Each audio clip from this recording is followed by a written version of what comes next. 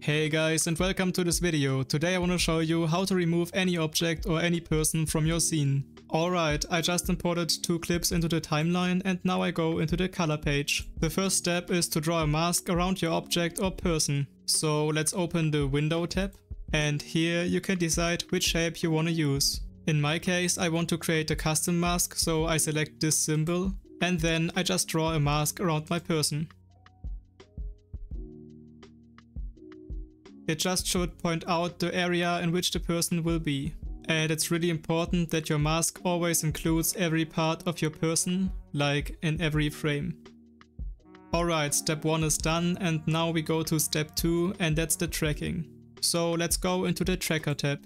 Okay, so here you can choose which tracker you want to use. So I can recommend the cloud tracker and point tracker for not moving objects and IntelliTrack tracker for moving objects. So in my first video clip, the person is not moving and that's why I will use the cloud tracker.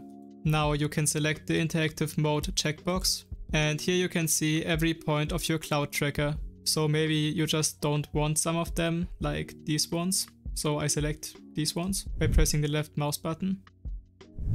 And then I just delete these points. In contrast to this, you can also set some points if you want to. Okay, and now the tracker will track these points throughout your clip. So let's hit this track forward and reverse button. And now as you can see the person is tracked throughout the clip. Now open the effects tab and search for object removal. Select object removal and drag it on top of your node. Then just hit this scene analysis button.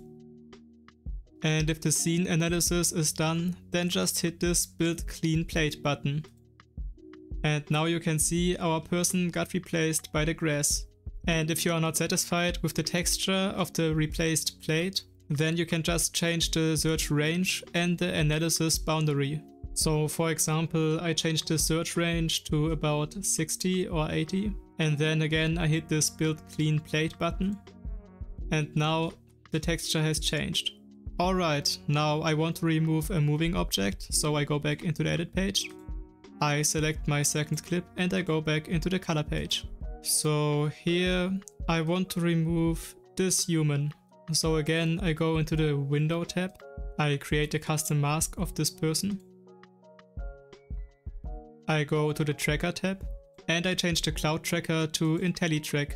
Then I just add another track point and I change the position of this track point to my person. And again I hit this track forward and reverse button. Alright, so that's the tracking for now. And again, I go to effects, I select object removal and I drag it on top of my node. I hit the scene analysis button and I build a clean plate. And now you can see it doesn't look very perfect, so there are some minor lines you can see right here. So to change this, I just decrease the search range to zero. And again, I build a clean plate. And now it looks like this. So with this object removal tool, you can add like a ghost effect with the blend slider. So this is really nice, I guess. But for the beginning, there's also a minor mistake. So you can see a gray shape right here. And that's why I will search for the first frame in which the gray shape won't appear. So that's like one of these frames. And I go back into the edit page and I cut my clip.